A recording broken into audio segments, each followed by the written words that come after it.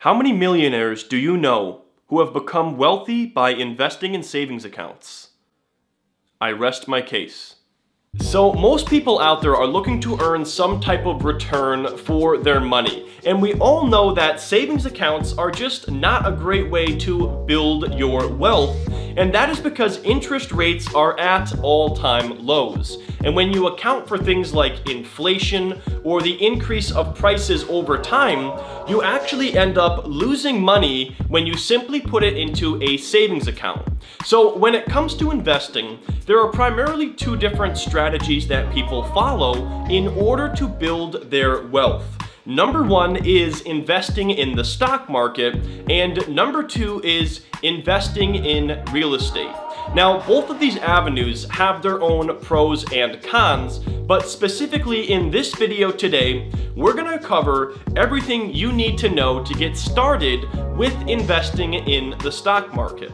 Now, there's nothing wrong with either one of these investments. In fact, in most cases, it makes sense to invest in both real estate and the stock market, which is what I have done myself and other people have as well. But the main problem with investing in real estate is that if you're looking to go out there and purchase a rental property or a home, it's going to oftentimes cost you tens of thousands of dollars, making this a high barrier to entry investment. The good thing about the stock market is it is now easier than ever before to get started and you can literally begin investing in the stock market with $100 or less. And I'm gonna show you step by step how to do this in this video today. Now that being said guys, before we jump into things here, I just have to make a disclaimer that I am not a financial advisor. This is not financial advice and you should always do your own research and due diligence before making any investment decisions. Also guys, I'm anticipating this will be a much longer video than usual, so if you want to skip ahead to different sections in the video, check the description down below and I'll have timestamps covering the different sections in this video. But that being said guys, let's jump right into it and cover the first thing you need to know about investing in the stock market. All right, so the first thing we have to cover here is what exactly is the stock market? Before you go out there and invest in stocks or anything out there, you should understand what exactly it is that you're investing in and what is the stock market. So the stock market is just like any other market out there, which essentially means it's a place where people buy and sell things. So the example I like to use is thinking about a flea market. This is where people who have different items all come together and you can buy things and you can sell things all in one place. So the stock market is very simply a place where people come together to buy and sell stocks. But what exactly is a stock? Well, a stock is an underlying ownership stake of a real company, and specifically, it is of a publicly traded company. So not all companies out there are public. There are some very large privately owned companies, which means that the general public is unable to buy shares of these companies. Then you have public companies which have gone through an IPO or initial public offering, which means average people like you and me, the general public, can actually purchase shares and own a small piece of this company. So keep that in mind when you're looking at stocks to purchase. Even if you're just buying a couple of shares, you're buying a piece of a real company and a real business. Now, once a company goes from being a private company to a public company, they are held to stricter standards. They're required to, on a quarterly basis, share earnings statements and other statements with shareholders as a means of letting investors know how that company is doing. So a lot of companies out there don't want to be so transparent about their earnings and things like that. So as a result, they remain private companies. However,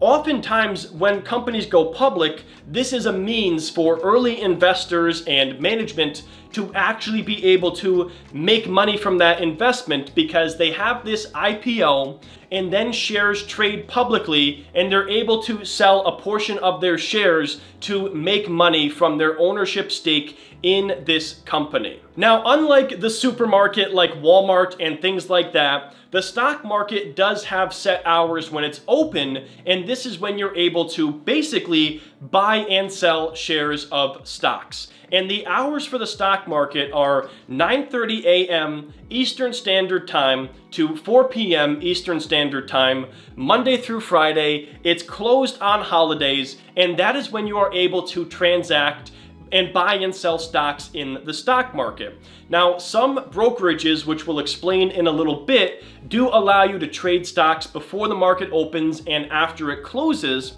but for the most part, most people are participating in the stock market during normal market hours of 9.30 to 4 p.m. Now, one thing that's interesting about the stock market is as soon as the stock market opens, the price for an underlying stock or fund starts changing every couple of seconds. And this is referred to as the quote for that particular stock, which is essentially what people are willing to pay for it and what people are willing to buy it for. And this is one of the most interesting parts about the stock market is that price changes all of the time based on varying market conditions. It's kind of weird because when you think about real estate or antiques, things like that, the price of that isn't changing all the time. It's different than real estate, for example, because when you buy a piece of property, you pay a certain price for it, and then that's basically what it's worth you don't necessarily have the given value of that property being updated every couple of seconds. But you do have that with the stock market where that quotation price is constantly changing. And this is simply based on the current supply and demand for that stock. So when there's a demand for a stock, and the demand exceeds the supply, meaning more people are trying to buy it than sell it, that price goes higher and higher. And when there's a supply of that stock hitting the market, when more people are trying to sell it, less people are trying to buy it, that price goes lower. The best analogy I have for this is thinking about purchasing gas. We know there's been times when you go to the pump and you buy a gallon of gas for two or three dollars and it seems relatively inexpensive. That's because there's plenty of gas out there and not that many people are trying to buy it. Then there's been other times in the past when gas prices are four or five dollars a gallon, which is pretty expensive, and that is because there's more demand for this gas than supply, and as a result, that price climbs higher and higher. That same exact principle here of supply and demand is what controls the stock market. And that supply and demand of a given stock is based on what is going on with that company, what's going on with that industry, or the market as a whole. So let's say, for example, Tesla came out and they said that they had new battery technology that was better than ever before, and all of a sudden a bunch of people say, wow, I wanna buy some Tesla stock. The demand for that is likely going to be higher, and there's not gonna be as many people looking to sell shares of Tesla in the stock market. So as a result, that price climbs higher and higher, and at those higher price levels, people who own shares may then decide, okay, I'll part with a couple of shares, that way I can make some money. On the other hand, let's say that there's bad news that comes out about a company. Maybe Tesla comes out and they say, hey, our battery technology, you know, is not as far ahead as we thought it would be right now. And a bunch of Tesla investors say, you know what, I don't want to own this anymore, I'm gonna sell it. At that point, there's more people trying to sell shares and get rid of them than there are people trying to buy them. So the price goes lower and lower as people are willing to take less and less money for those shares. But at a certain point, that price gets low enough and new investors are like, you know what? That's a price I'm willing to pay. I'll buy some shares of Tesla. And this supply and demand is what controls prices in any given market out there, just like the stock market. And then another huge factor to understand about the stock market is beyond just the individual company news or whatever is going on in that industry, major events in the world can affect the stock market as a whole. So for example, when the global pandemic took over and businesses were closing and unemployment was going up, the stock market in general was seeing a lot of supply. People were concerned about owning stocks, they wanted to sell them and move their money into cash.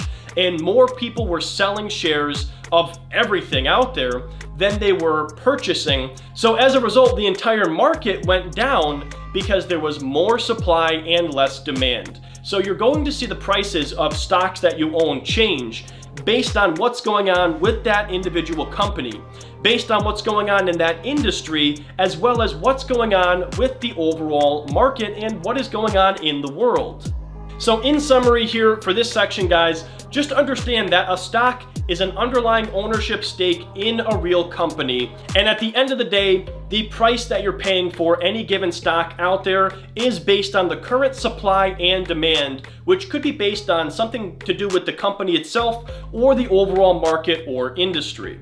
Okay, so the second thing you have to understand about investing in the stock market is the difference between investing in individual stocks and then investing in funds. So we already covered this in the first section, but a stock is essentially an ownership stake in a real company. And a lot of people go out there and they purchase individual stocks with the goal of outperforming the overall market or getting a better rate of return than what they could get by passively investing in funds. But what exactly is a fund? Let's cover that right now. So a fund is simply a basket of different stocks all lumped in together that you're able to invest in through one investment. Now in the past, a lot of people would buy something called a mutual fund, which is something that is actively managed. So you have your money being managed by somebody else and you're paying fees to them and they take that fee to conduct research and decide what to invest your money into.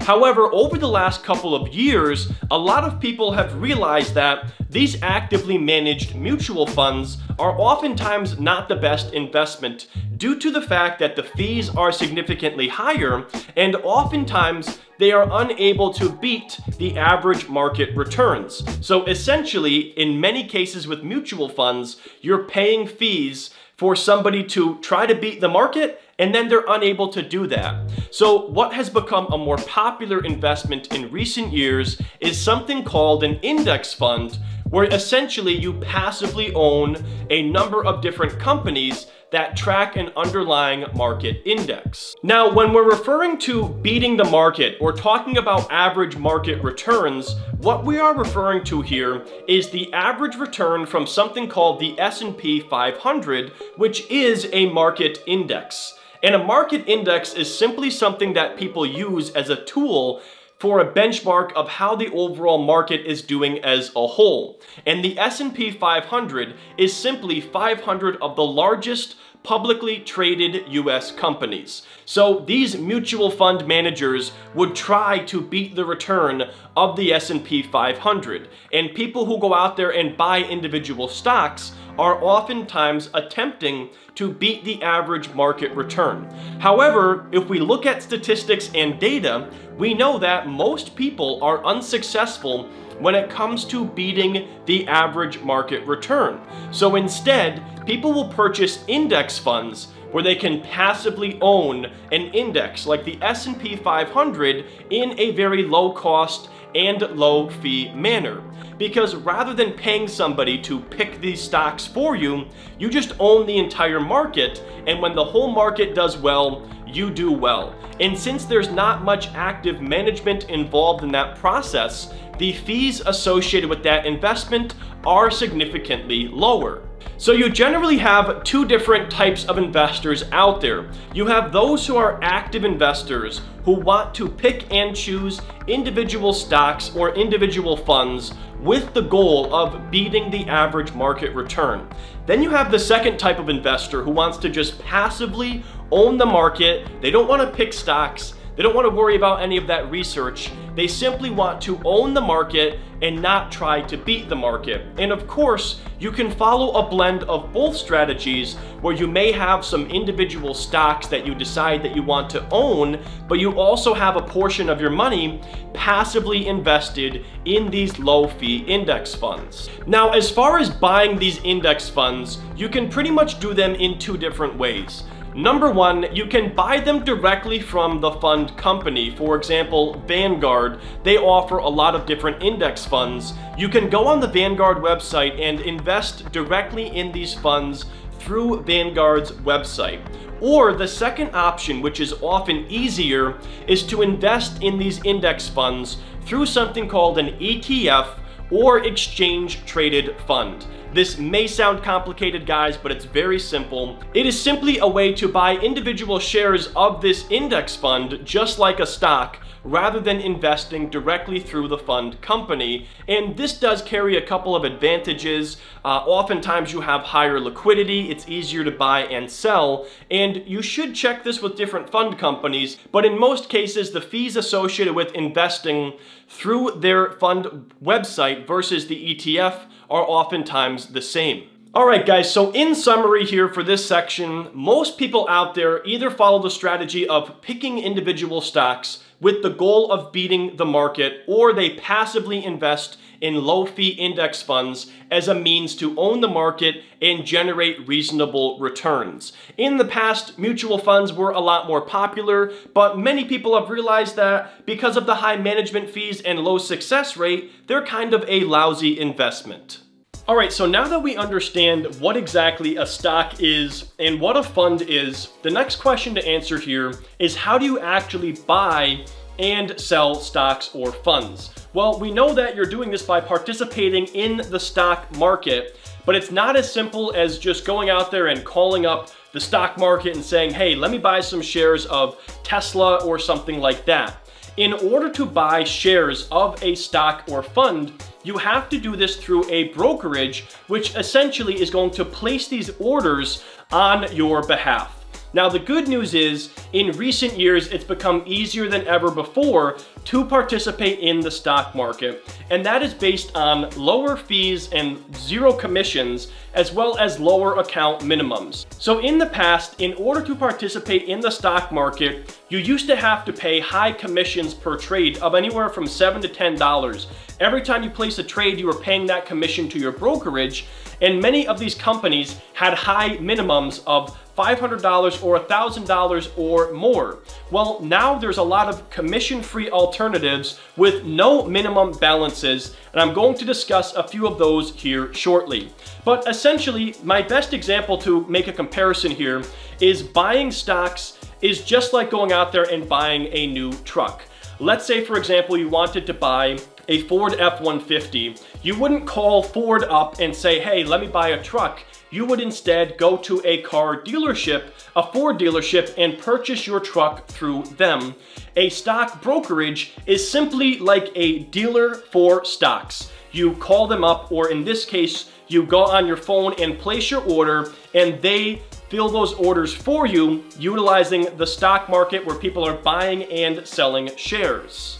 Now, the good news for you is that the brokerage industry is very competitive and a lot of these up and coming brokerages are offering sign up incentives to basically incentivize you to utilize them to buy and sell stocks on your behalf. So I wanna cover now a couple of brokerages that are good for beginners. And full transparency here, guys, I am affiliated with these brokerages so if you use my links down in the description, I may earn a small commission in the process. No pressure to use those guys, but it is a great way to give back to me for putting this video together and a way to support my channel at no additional cost to you. So the first platform I wanna mention here is called Webull. They offer commission-free stock trading with $0 minimums, and they also offer retirement accounts for free with no minimums, which is not something you typically see available from different brokerages. We talked about that sign up incentive earlier. Uh, what they do for you is if you open up an account with them and you fund it with $100 or more, you're going to get a completely free stock worth anywhere from $8 up to $1,600 based on a lottery system. Now, Webull is a little bit more advanced with a lot of research tools and data, so if you are a complete beginner, it might be a little bit overwhelming. Uh, so if you're looking for a slightly simpler version, My second pick here is Robinhood, which is also 100% commission free with no minimums. They're just a lot more basic and beginner friendly. The only thing you might run into with Robinhood is after you get started and you get your feet wet, you might find it's a bit lacking in terms of research tools and other features out there. Robinhood is by far the most beginner-friendly app out there for buying shares of stocks and funds, and they also have a sign-up incentive where if you open up an account with them and you can fund it with any amount of money, you're going to get one free stock worth anywhere from $2.50 up to $200. And of course, guys, if you want to get two completely free stocks, you could sign up for Webull and sign up for Robinhood, take both of those for a test drive, and see which platform you like better. And then third and finally is the main brokerage I use, which is M1 Finance. Unfortunately, they don't offer any type of sign-up incentive, but if you want to support me by using that link, that is totally up to you. M1 Finance has a lot of great features for long-term investing, such as dividend reinvestment, they offer free pre-built portfolios, and they offer fractional shares where you don't have to buy entire shares of stocks in order to invest. Um, it's a great platform overall for more long-term investing, but if you're looking to trade individual stocks in and out on a regular basis, that's not the best platform to choose because they only offer two trading windows per day. Now, as far as actually buying and selling stocks or funds on these brokerages, I'm not going to get into detail there because it's going to be slightly different based on what brokerage that you choose. But what I would recommend is once you open up your brokerage account, whichever one you choose, whether it be on my list or a different list out there, simply go to YouTube and type in the search bar, how to buy stocks on blank, and fill in the brokerage that you're using. And there's a lot of helpful videos out there that will walk you through step by step how to buy stocks on these different platforms. So anyways, guys, in summary here for this section, in order to buy and sell stocks, you have to do so through a brokerage, which is essentially going to place these trades on your behalf. It's gotten a lot more competitive over the last couple of years, which is good for us because fees have been reduced to basically zero. Um, minimums are oftentimes zero dollars as well, and a lot of these companies offer free stocks or promotions as a sign-up incentive to basically get you to invest with them. So now we're going to talk about how you actually make money in the stock market. And for some people, this may be a no-brainer, but I've had a lot of people ask me this question in the past of, understanding that you can go out there and you buy shares of these companies or you buy into these funds, but how do you actually make money? And there's two different ways that you can make money when you invest in the stock market. Number one is through asset appreciation, which is essentially where the underlying asset, stock or fund that you buy goes up in value over time. And then number two is dividends, which is essentially cash payments from these underlying investments. And we're gonna go ahead and explain both of these right now. Now, when we're talking about asset appreciation versus dividend income, we're actually talking about two different investing styles. One of these is investing for growth, and the other is investing for income. And there is such thing as a blend of both of these where you have stocks or funds that have growth potential or the potential to increase in value, as well as income potential from the dividends paid by these stocks. Also guys, real quick favor here, if you've been enjoying this video so far, please go ahead and drop a like for the YouTube algorithm and make sure you subscribe and hit that bell for future notifications of new uploads. So first of all, let's talk about income investing or making money through dividends.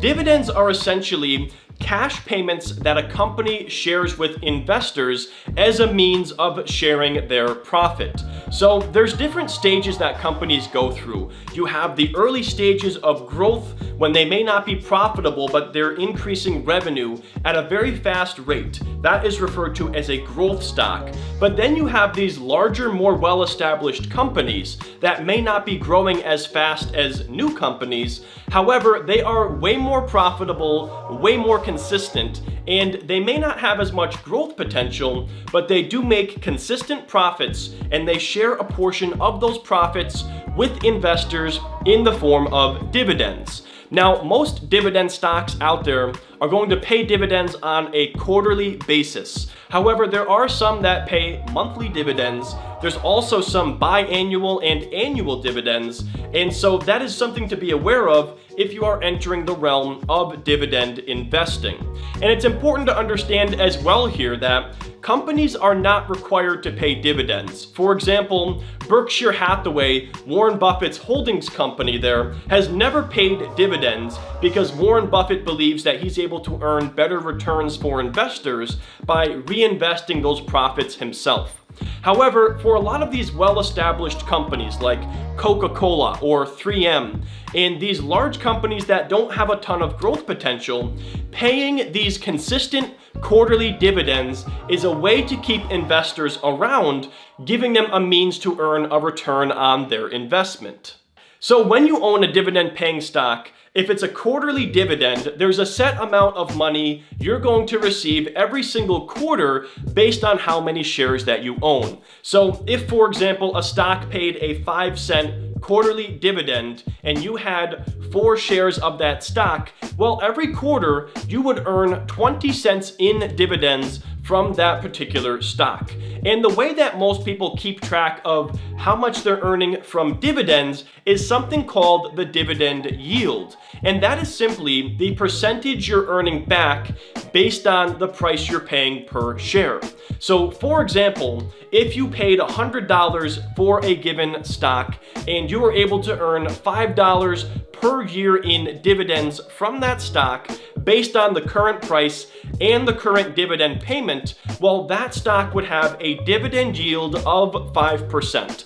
And while we're talking about dividend yields here, typically this is going to be somewhere in the neighborhood of 2% to 5%. Uh, so you're not oftentimes going to find safe dividend investments out there with yields of 8 or 10 or 12%. You may see this sometimes with stocks out there. However, it's oftentimes a bad sign and dividends are never guaranteed. Companies can cut or eliminate them at any point in time. So just understand that a safe dividend is typically around 2 to 5%. If you're looking at stocks with double digit dividends, that is almost always a red flag and something you're going to want to avoid. So that is the income side of investing or making money through dividends. Now let's talk about the growth side or making money from asset appreciation.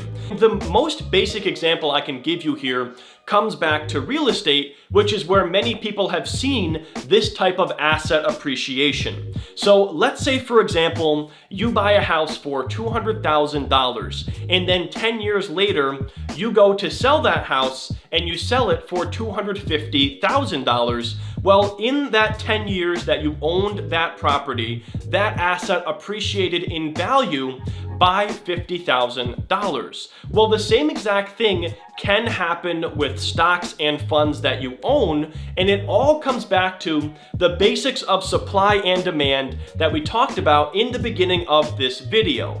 For example, in 2020, we have seen a lot of demand for Tesla stock and Amazon stock. And because there is so much demand for these shares, the asset has appreciated in value because the share price went from being lower to now being much higher. On the other side of the coin, however, we've seen the exact opposite take place with some companies that are falling out of favor. Based on the global pandemic that we saw here, the demand fell sharply for stocks like Macy's and American Airlines as many investors were selling these stocks. So when you have a lot of people buying into a stock or an industry, that share price climbs higher and higher, and that's how you make money through that asset appreciation.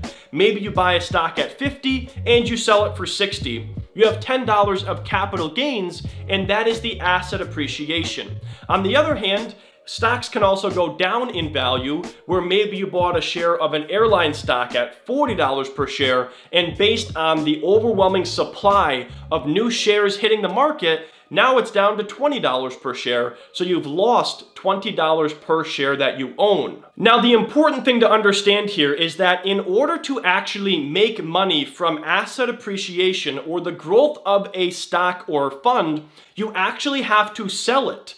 You can't make money just from that going higher. You have to sell that stock to somebody else and lock in that capital gain. So essentially, let's say, for example, you had a stock you bought at $30 per share, and now it's at $40 per share. You have made $10 per share on paper, but in order to actually lock in that gain, you would have to sell that stock to somebody else at a price of $40 per share.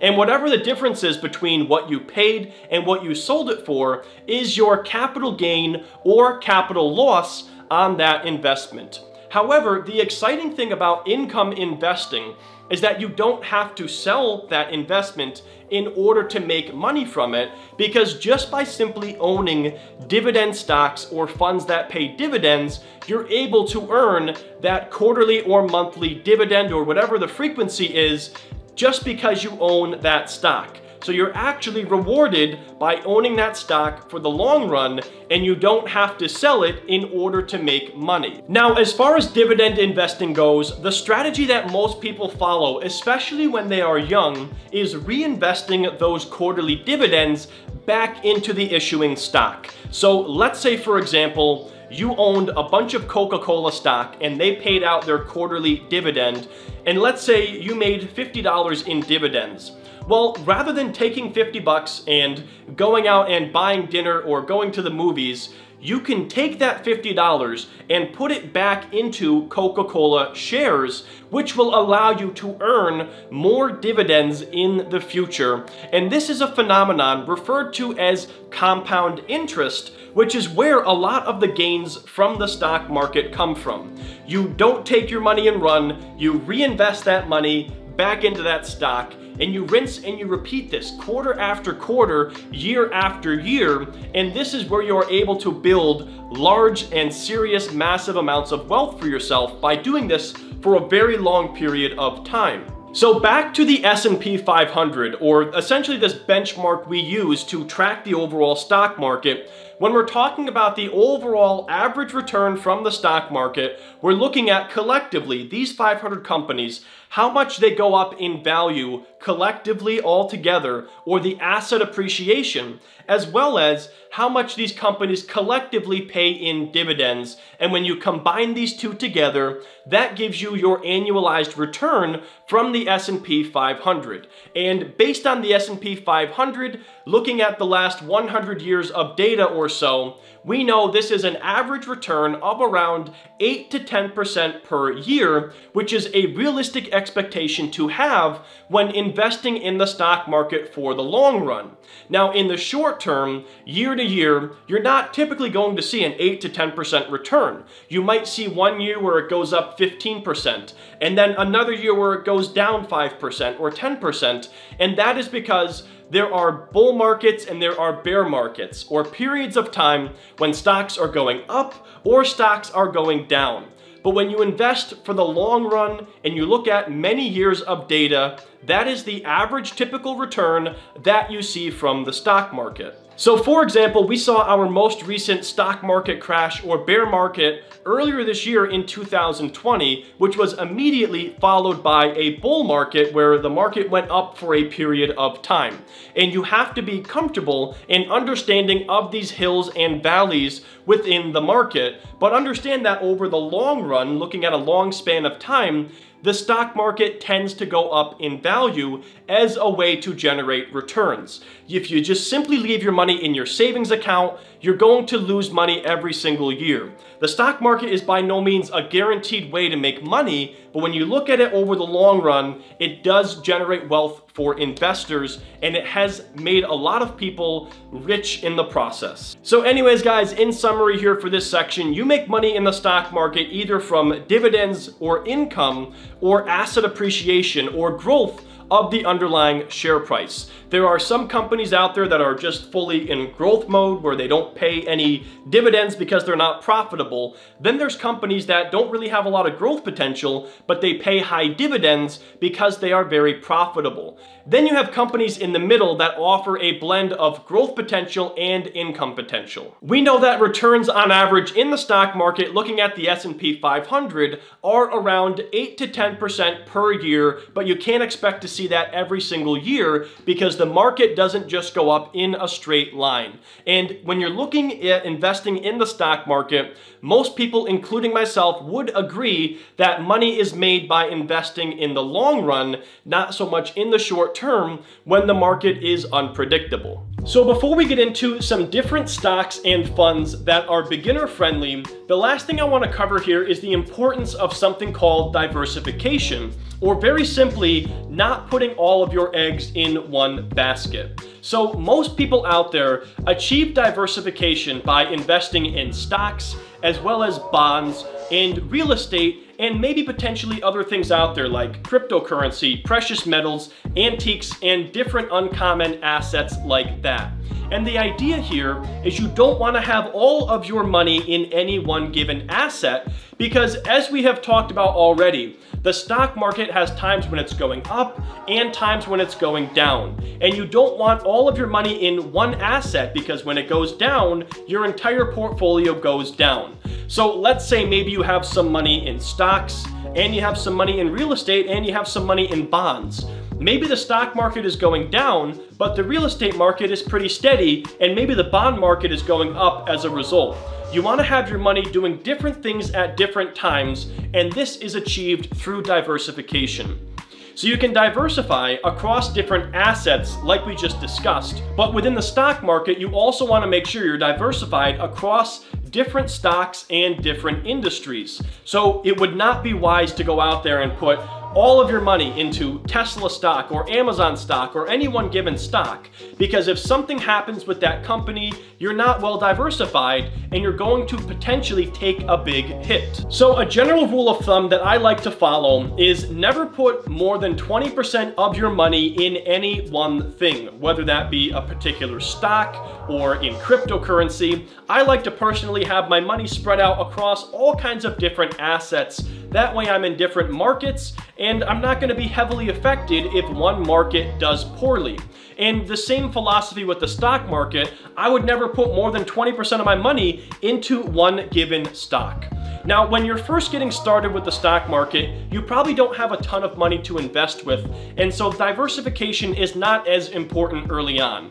But I would say once you start investing a couple thousand dollars, maybe $5,000 or more, that's when you wanna think about spreading your money out across different stocks or different industries. That way, you don't have all of your eggs in one basket.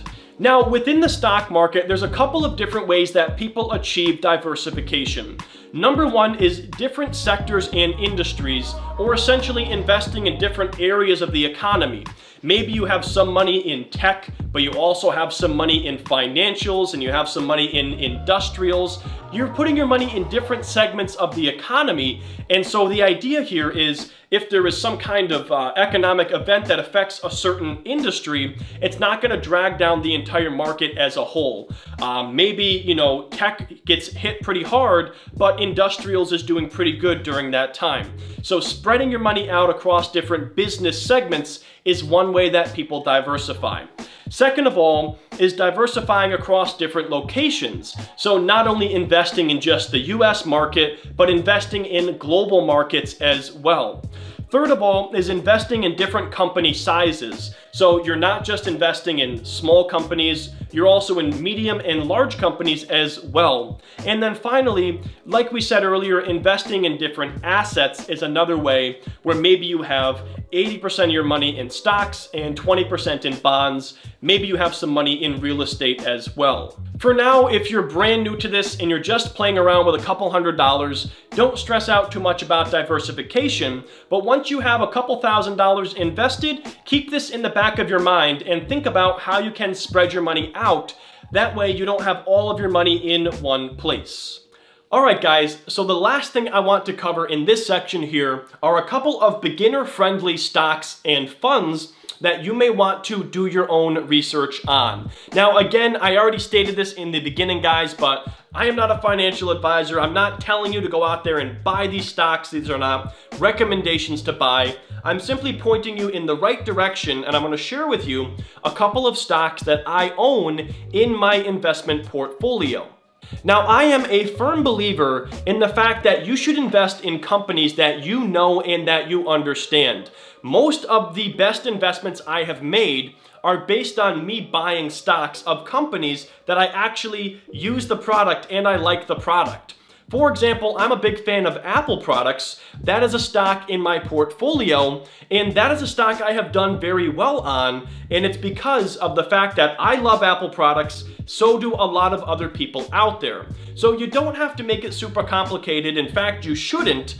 I would instead look at what things that you like in your world and in your life and what are your favorite companies and think about whether or not you would want to invest in them. However, that being said, if you're looking for some ideas, not recommendations, here are a couple for you. First of all, Coca-Cola, that is a stock in my dividend portfolio. Warren Buffett is a big investor in this company. They're probably the world's most recognizable brand. They're time tested. They are on the lower side of risk because of how long they've been around, and they are a consistent dividend payer. Coca-Cola, you really can't go wrong with this stock as a beginner in terms of just getting your feet wet and owning something that's not going to massively fluctuate in value because this is a very durable, time-tested investment. If you're looking for more of a growth play, Amazon may be one to consider based on this current trend shifting towards e-commerce we've been seeing over the last couple of years, which has been accelerated by this global pandemic. I have owned Amazon numerous times in the past. I've done very well with this stock. They're not a dividend payer because they're still in growth mode, but I think they are poised to benefit based on this ongoing trend we are seeing with the growth of e-commerce. After that on my list here is Apple, and this to me is a good blend of both growth and income because they are a dividend payer, they pay a small dividend. However, there's also still a lot of growth potential with this company based on the fact that they are expanding into new technologies and they're on the cutting edge with their devices. So Apple is a stock where you can earn some dividend income while having the growth potential. That is why Apple is a large component of my own investment portfolio. Next up, we have Procter & Gamble. They make a lot of different household products that you probably used this morning without even knowing it. They have been paying dividends for 130 years, and they've been growing their dividends year after year consecutively for 64 years. If you're looking to get into dividend investing, you really cannot go wrong with a stock like Procter & Gamble. And the last stock on my list here, which you really can't go wrong with as a beginner, is Disney. Now, they have been hit hard recently because of the closure of their theme parks, but I still think it's a solid pick overall. Uh, and this is one of those weird companies that doesn't pay a quarterly dividend. They actually pay dividends two times per year. But in terms of a safer and less volatile or stock that moves up and down investment, Coca-Cola, Disney, you know, you, you really aren't going to get much better than that as a complete beginner. Because when you're brand new to investing, you don't want to be taking risks. You don't want to buy something where the price changes all the time. It's going to stress you out. Start with something simple that's easy to understand and maybe even a product that you know and love, like in my case, investing in Apple. And then as far as index funds go, I have three examples here you may want to do some research on. First of all, probably the most popular one is VOO. That is the Vanguard 500 Index Fund, which is one of the most inexpensive ways to own the S&P 500. So when you buy VOO, you own a small piece of 500 of the largest publicly traded companies in the US. So you have the potential for growth from those companies as well as the income through dividends. So collectively, whatever dividends are earned from those companies in that group that pay dividends, those dividends are paid out on a quarterly basis from this fund. And as far as fees go, the expense ratio for this fund is just 0.03%, which is pretty much as good as it gets. You may find some that are lower out there, but we're talking about a very minuscule fee. Another fund here is SCHV. That is the Schwab US Large Cap Value ETF, where you own a diversified collection of large US companies with reasonable valuations. So you're investing in the big giants, the titans of the United States. And this is a, another one that has a lower expense ratio of just 0.04%. And then lastly, we have QQQ. That is Invesco QQQ, which tracks the NASDAQ 100. This is a tech-heavy fund that mostly invests in big technology names like Apple, Amazon, Facebook, Google. So this is pretty much a diversified investment focused on tech. So a lot of young people like tech. They want to be investing in that. This is a way to do it in a diversified manner. However, the expense ratio is a little bit higher at 0.2%. So anyways, guys, that's gonna wrap up this video. Thanks so much for sticking around. If you made it to the very end, leave me a comment down below. I'm always curious how many people watch the entire video when I do these type of marathon videos. Uh, if you feel like supporting the channel for putting this video together, feel free to check out those links down in the description below and grab a couple of free stocks. I also have a great article over on my blog, Investing Simple, which would be a good complement to this, which is a step-by-step -step guide on investing in the stock market for beginners. I'll put a link to that down below as well. But thanks so much for watching, guys. Make sure you drop a like, subscribe, and hit that bell, and I hope to see you in the next video.